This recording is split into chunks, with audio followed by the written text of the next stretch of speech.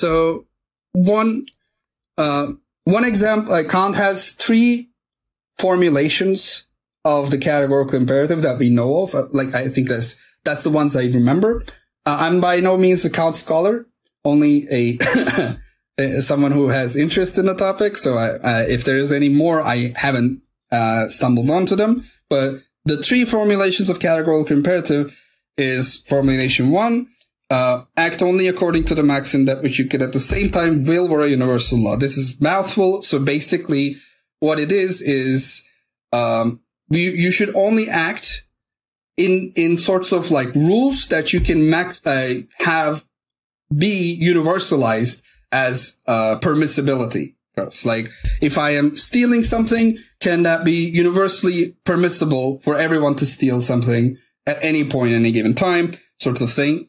Uh, um, that is the first formulation. The second formulation, which is a, a lot of the times overlooked, is humanity formulation. Uh, it is act as uh, humans being ends in of themselves rather than just mere means, which is to say you can use people, right? Like other people, you can use them to, towards your own ends, but never only as towards your ends. You should always consider their personal ends as well. They all have ends in, them, in of themselves. Every person has a goal. Uh, you, they are not mere tools to you. But if you have an agreed upon goal or instrumentally you have some agreement, uh, they, they have a certain goal. And if they reach that goal, you ha- are closer to your goal. That kind of usury, using other people in that kind of way is fine in a Kantian understanding. And the third formulation is, which my favorite, is kingdom of ends formulation, which is similar to second. Uh, it's basically treating everyone as uh, their kingdoms of themselves, like as ends in of themselves, causing like a kingdom of ends, which I personally believe is like Ancapistan. like people, people are uh, in a sort of can uh, uh, uh, ki- uh, king kingdoms of like their own uh, worlds, but they have an agreement, etc. Those kinds of like wor- working towards that kind of world is basically Kant's understanding. Uh, those are the three major formulations, and I think they lend themselves pretty well to libertarian uh, theory. Um, though, of course, um, I'm sure Liquid would disagree in certain regards, but I- will like the, I'll pass him, pass it to him, man. Well, before we get into that, oh, I'd okay. like to point out that I do see and like I see that there could be potentially some type of a parallel between you know this Kantian understanding and also the philosophy of Stoicism as it was you know originally set out you know by the Greek philosophers you know thousands of years ago. Uh, basically, in that you know they would hold reason and virtue as the highest good, mm-hmm. and you know since Kant, Kant put so much focus on the whole idea of reason itself, yeah. and t- also he talks of you know where in Stoicism virtue revolves around making your society a better place. And they do this to the point of self-sacrifice, which can be mm-hmm. considered, you know, altruistic. And I know that that's most likely where, you know, I think that would be precisely where uh, Zulu would have the uh, the gripes with uh, Kant in this case. Mm-hmm. Uh, so I, I, guess that would be a good way to seg into uh, into what you're going to say, uh, Liquid Zulu. Sure. So um, I suppose my problem with uh, Kant in terms of uh, ethics isn't necessarily Kant himself. It's what he allowed to uh, come out of his system. So if you, on Kant's view, really, uh, I've like looked into his ethics as much as I can. Um, all I can really d- get out of him in terms of ethics is the categorical imperative. That seems to be all he's, you know, saying insofar as ethics is concerned. If you, that, that, you know, just basically universalizability, to put it another way. So I would agree that that is potentially a necessary condition. You know, you wouldn't be wanting to randomly particularize your norm. So it's one rule for this group, another rule for that group, and there's no reason mm-hmm. to particularize it in this way. So I'd agree that that is it's it's a necessary condition if formulated correctly. But I don't think it's sufficient at all to get you any sort of an ethical system because you could have, you know, invert some random norm, and then you know that's also going to be universal, right? But that's um sort of that's just a sort of attack on like you know it doesn't get you much but then from the his derivatives you get like on kantian metaphysics you get a complete subjectivism, a complete collectivism. Because um, to Kant, the objective is actually the collectively subjective. It's when all humans yes. have this, you know, subjective understanding of something, of the noumenal world, and that's you have this collectivism entrenched right down into his metaphysics. And then, you know, when Hegel comes along, he goes, well, this noumenal thing you brought in here, that's a load of nonsense. Get rid of it. Let's throw that out the door because, you know, Hegel didn't give a damn about trying to save God or anything like that, which is what Kant went to do. That's why he brought in the noumenal world.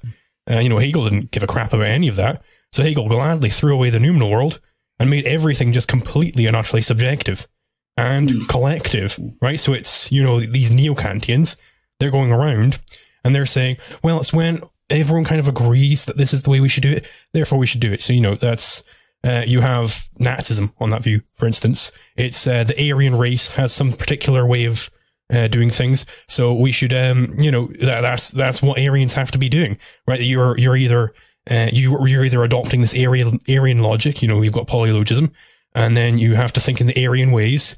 You know, you have to think in the Aryan ways. You have to be perceiving. You have Aryan concepts, and then you are an Aryan, right? And you know, obviously Marxism, because uh, you know they're they they have the same source. It's all in Kant. All of the worst philosophies. Pick some dictator of the 20th century, and you can drive their views if you if you read them. You know, read their books. They'll say, "Yeah, no, uh, we're we're getting it from like Hegel. We're getting it from Kant. We're getting it from Heraclitus. We're getting it from these people." Right? You you can read their books and they'll tell you exactly where they're getting it from. So, you know, maybe uh, given all Kant did you on ethics, if you just look at Kant's ethics and you say categorical imperative, universalization, great. Yeah, you could you could definitely say that that is compatible with libertarianism. It's also compatible with all kinds of evil philosophies, and it's I would say more consistently compatible with those evil ones because he has a deep metaphysical collectivism, which is kind of just completely antithetical to libertarianism, which has methodological individualism. Right. So, yes, I know that both Marx and Mises, you know, despite being such different people, both counted, you know, Kant as an influence in this case. Mm-hmm. And, you know, speaking of Marx, I know another example is that Marx was also influenced by Aristotle, for example. He took some of his philosophy and, you know, use that to come up with his idea of, you know, all exchanges having to be between two items of equal value, which, you know, Böhm-Bawerk obviously came along and, you know, debunked that. But basically, um, I just find it interesting that you know I'm not saying that Aristotle is is inherently a Marxist philosopher or anything like that, but it's that you know somebody can he- see a certain uh, philosopher such as this, and they can take that and run with it in a certain way.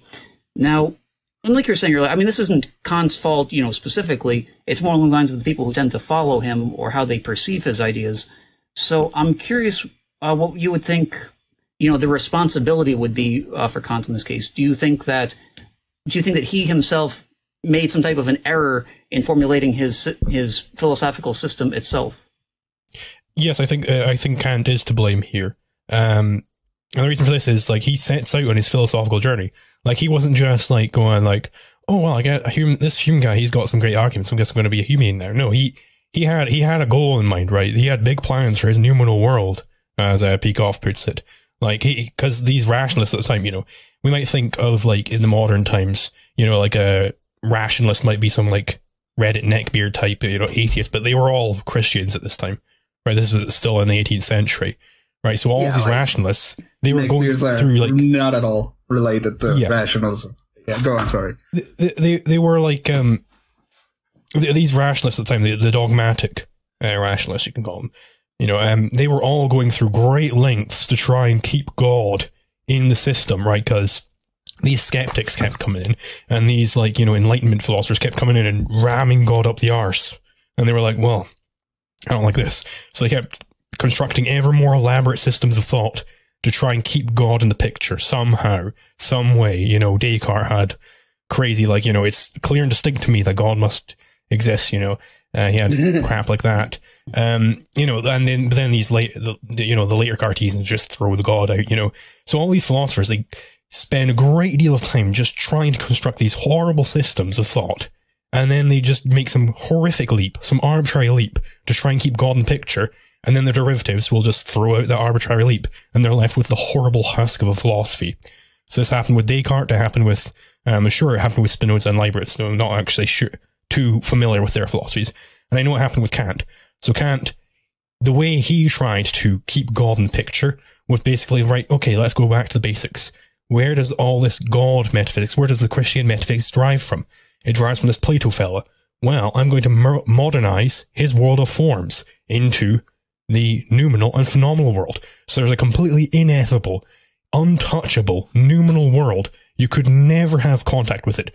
So it's completely outside the realm of reason. Reason only applies to the phenomenal world, right? You can only have faith about what is in the noumenal world. This is how he saved faith. And um, there's a quote from him here. Let's see.